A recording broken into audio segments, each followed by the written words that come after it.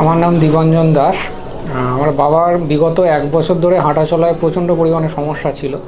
তা সেটা কি কারণে হচ্ছিল সেটা প্রথমে ডায়াগনোসিস হয়নি। পরে আমরা আর এন টেকর হসপিটালে ডক্টর অমিতাভ চন্দ্রের সঙ্গে যখন কনসাল্ট করি ওনার প্রথম থেকেই হাঁটা চলার অনেক সমস্যা হচ্ছিল। তারপরে এমআরআই করানো হয়। আর এমআরআই করানোর পরে ওনার ব্রেন টিউমার ধরা পড়ে। তার, আর ওনার, উনি খুবই, ওনার হার্টের কন্ডিশন খুব একটা ভালো ছিল না। উনি খুবই হাই রিস্ক পেশেন্ট ছিলেন। সেই জন্য আমরা গত মাসের বাইশে মে ওনাকে ভর্তি করানো হয়েছিল। কিন্তু এখানে অ্যানাস্থেসিস যিনি ছিলেন, তিনি বলেছিলেন যে হাই রিস্ক পেশেন্ট আছেন, তো ওনার লাইফ রিস্ক হতে পারে অপারেশন করলে, সেই জন্য আমরা তার পরের দিন ওনাকে ফিরিয়ে নিয়ে চলে গেছিলাম। কিন্তু বাবা চাইছিলেন যে অপারেশনটা হয়ে যাক আর টিউমারটা ওনার ভালো হয়ে যাক। তো সেই জন্য আমরা আবার আরও অন্তত দশ বারো দিন পরে ওনাকে আবার ভর্তি করানো হয়। ভর্তি করানোর পরে ডক্টর চন্দ্রই উনি অপারেশন করেন। তো অপারেশন সাকসেসফুল হয়। এখন বাবা অনেকটাই ভালো আছেন। আগে ডান হাত, ডান পা ওনার পুরোপুরি প্রায় অচল ছিল। এখন তাও অনেকটাই উনি এখন মোটামুটি ডান হাত, ডান পা মোটামুটি মুভ করতে পারছেন। এখন হাঁটা চলাও পুরোটা না হলেও অল্প স্বল্প এখন করার চেষ্টা করছেন। আমরা আশা করি উনি যত সময় যাবে ভালো হয়ে যাবে। হসপিটালের পরিষেবা মোটামুটি যা দেওয়া হয়েছে আমরা স্যাটিসফাই আর ডক্টর অমিতাভ চন্দ্র যে অপারেশন করেছেন, আমরা ওনার কাছে অত্যন্ত কৃতজ্ঞ। এবং আমরা ভবিষ্যতে ওনার সঙ্গেই কোনো রকম প্রবলেম হলে আবার ওনার কাছেই আমরা কনসাল্ট করব। এই বিষয়ে আরেকটা কথা আমি বলতে চাই, যে বাবার কথা বলাতেও খুব সমস্যা হচ্ছিল, প্রায় কথা বন্ধই হয়ে যেতে বসেছিল।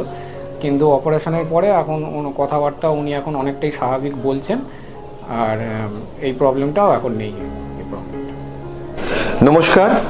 আমার কাছে গত মাসে, মে মাসে একজন রোগী এসেছিলেন, আশি বছর বয়স ভদ্রলোকের, নাম মিস্টার গোবিন্দলাল দাস।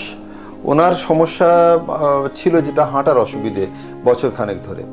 তো আমার কাছে উনি যখন এসছিলেন, উনি ট্রলিতে শুয়ে এসছিলেন, উনি মানে দাঁড়ানোর বা হাঁটার ক্ষমতা ছিল না মানে হাতও নাড়াতে ভালো করে পাচ্ছেন না।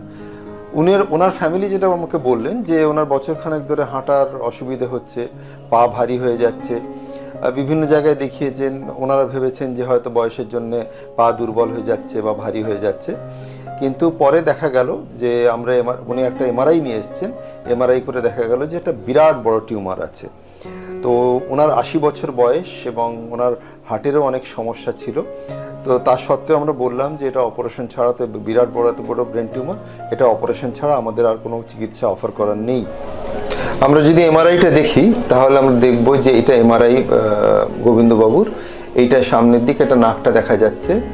এবং আমরা ক্রমাগত উপরে উঠছি, চোখ দেখা যাচ্ছে এই দুটো চোখের মনি এই টিউমারটা এখান থেকে দেখা যাচ্ছে। এটা হচ্ছে বাঁ দিক, এটা ডান দিক। তো এই দিকটা বাঁ দিক, এটা ডান দিক। তো আমরা ক্রমাগত উপরে উঠছি, দেখ, দেখা যাচ্ছে একটা বিরাট বড় টিউমার। ব্রেনটিকে খুব ভীষণভাবে চাপ দিয়ে রেখেছে। আমরা যদি অন্য অ্যাঙ্গেল থেকে দেখি, অন্য প্লেনে দেখি, তাহলে আমরা দেখতে পাবো যে মাথার এটা যেতে সামনে, এটা মাথা সাইড থেকে দেখা হচ্ছে, এটা নাক। এখানে টিউমারটা, বিরাট বড় টিউমার। এত বড় টিউমার। আর যদি সামনের থেকে দেখি, তাহলে দেখব এই দুটো চোখ দেখা যাচ্ছে।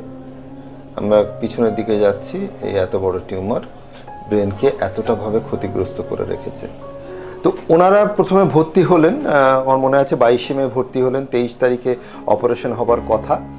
তো আমরা সাধারণত অপারেশন আগে কাউন্সেলিং করি যে এই এই রিস্ক ফ্যাক্টর এবং লাইফ রিস্কও আছে অপারেশনে, সেটাও বললাম বলা হলো যে হার্টের সমস্যা আছে, এত বড় টিউমার রক্তক্ষরণ বেশি হতে পারে, এই বয়সে রক্তক্ষরণ রোগীরা খুব ভালোভাবে নিতে পারে না অনেক সময়। তো লাইফ রিস্ক একটা থেকেই যায়। আর অ্যানেস্থেশিয়ালি যেটা বলেছিলেন যে, আমরা ইলেকটিভলি ওনাকে ভেন্টিলেট করাবো। তো অনেক সময় আমরা কিন্তু ইলেকটিভলি ভেন্টিলেট করাই, একটু লম্বা অপারেশন হলে বা একটু বয়স্ক মানুষ হলে জাগতে সময় নেয় সেই জন্য আমরা ইলেকটিভলি ভেন্টিলেট করাই। তো ওনারা খুব ভয় পেয়ে গেলেন ভেন্টিলেশনের কথা শুনে এবং লাইফ রিস্কের কথা শুনে। ওনারা বললেন তাহলে আমরা অপারেশন করাবো না, আমরা সই করে বন্ডে সই করে নিয়ে যাচ্ছি। উনি যখন এসেছিলেন, প্রথমবার ভর্তি হয়েছিলেন, ওনার ডান হাত, ডান পা একেবারেই নড়ছিল না। কিন্তু উনি কথাবার্তা বলছিলেন।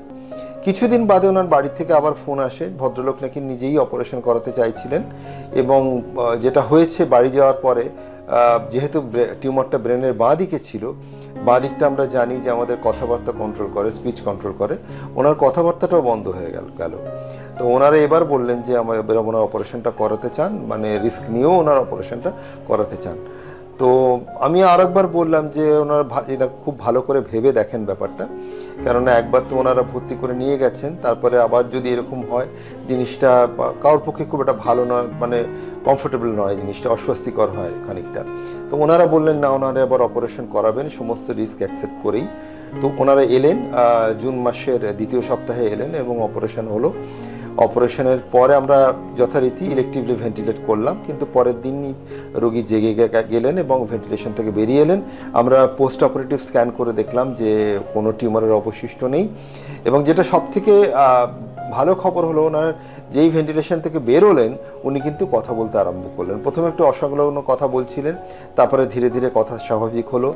তারপরে যেটা হলো, ডান হাতটা নাড়াতে আরম্ভ করলেন, তারপরে কিছুদিন বাদে ডান পাটাও নাড়াতে আরম্ভ করলেন। আজকে উনি ফলো আপে এসছেন, সেলাই কাটাতে এসছেন, এবং উনি বা, ওনার ছেলেরা বললেন উনি বাড়িতে দাঁড়াচ্ছেন, অল্প অল্প হাঁটতেও পাচ্ছেন যদিও এখনও স্বাভাবিক অবস্থা ফিরতে বেশ কয়েক মাস সময় লাগবে ফিজিওথেরাপি করে। কিন্তু এইটুকু আমরা বলতে পারি যে ওনার টিউমারটাও বেনাইন টিউমার এবং পুরোটা টিউমারটা বার করা গেছে। আমরা স্ক্যানে যা দেখেছি, উনি ক্রমাগত উন্নতির দিকে কথাবার্তা বলছেন, ডান হাত তো খুবই ভালো মুভ করছেন এবং ডান পাও ভালো মুভ করছেন। হাঁটতে একটু কষ্ট হচ্ছে, কিন্তু উনি, আমি আশা করছি যে কয়েক মাসের মধ্যেই উনি স্বাভাবিকভাবে হাঁটাচলা করবেন এবং উনি সম্পূর্ণ রোগমুক্ত। ধন্যবাদ, নমস্কার।